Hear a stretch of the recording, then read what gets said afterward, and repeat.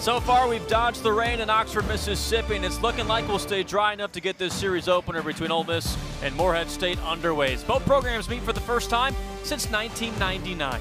So Gunnar Dennis starts tonight for Ole Miss, coming off a good start against Iowa. He had eight, eight strikeouts. He did, and, and he's jump settling into that Friday night role you see in the scouting report. He's a strike thrower, fills up the zone. That fastball, upper 80s, low 90s. Not the hardest throwing Ole Miss guy, but a guy that knows how to pitch.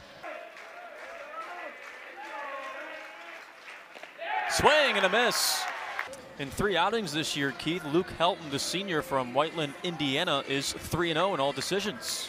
The numbers are really good when you look at it. He is a strike thrower. That's the number one thing. And of course, when you can get ahead of hitters, got a chance to get them out. Fastball's not going to overpower you, upper 80s. And he sends a missile out to deep left field.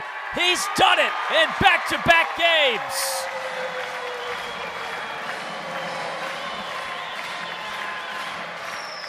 Well, we'll get to exit velocity later, but that one left the bat in a hurry, too. I don't think a fastball out of the zone. I think that was up and in. As he brings the hands in and gets a no doubt to the left. And they do this with a 1 2 count. Swings and misses. Two run shot for Ethan Leger gives Ole Miss a 2 0 lead on Morehead State. Lifted to right. Hughes on the run. It lands in front of him. Nick Gooden hits third. He's on his way home as Hughes throws to third. Not in time. Sepulveda is there safely, and Morehead State's on the board. Runner from first breaks. A roller to Hill at short. High throw.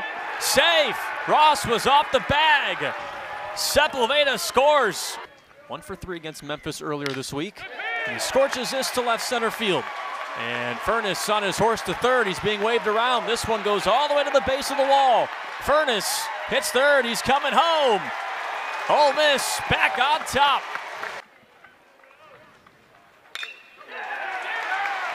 And Groff punches this into left. Smithwick comes home. If you're there and you can reach up and catch it, you're going to reach down and tag. He just didn't get to the bag in time. Fischer, right side hold, slips right through. Randall comes home. Groff hits third on his way home. The throw's cut off. Hard hit ball into right field, and that brings in Colton Becker. Furniss blasts this into right. Back is Robbins at the wall. It hits the base. Luke Hill hits third. He's coming home. Furniss stops at second base.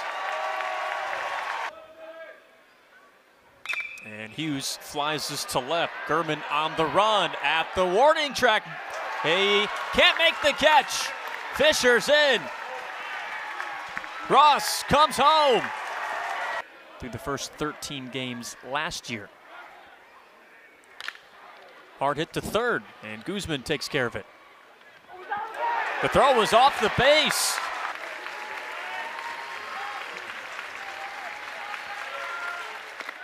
Ball game. Ole Miss takes down Morehead State 10 to 3 tonight and wins game one of our three game series